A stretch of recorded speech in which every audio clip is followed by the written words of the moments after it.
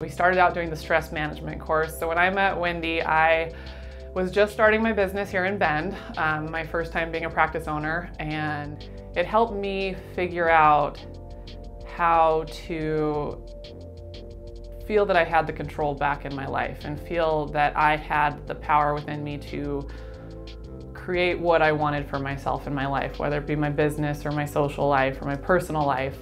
Um, she not only was a great sounding board, but her courses gave you the tools to deal with. I remember after like our second session, I was like, this is so cool.